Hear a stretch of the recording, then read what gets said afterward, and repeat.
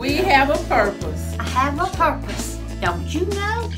I have a purpose. I have a purpose. I have a purpose. My mom's special. She married my daddy who had three kids, and she oh, raised her just like she's our own.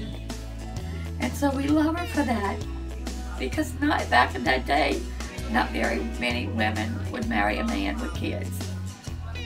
So we love her. She's my mom. She took the place of my mom after she passed.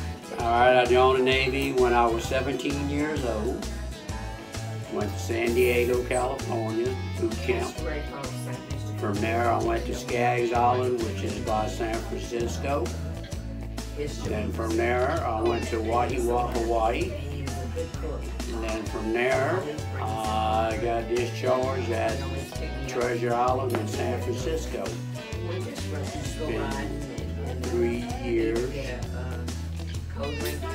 seven months, I think it was, and some more days. Both my kids was born in the military from my first marriage. If I had to do it over again, I would do it in a heartbeat. Enjoy the time in the military. I think everyone should go in the military.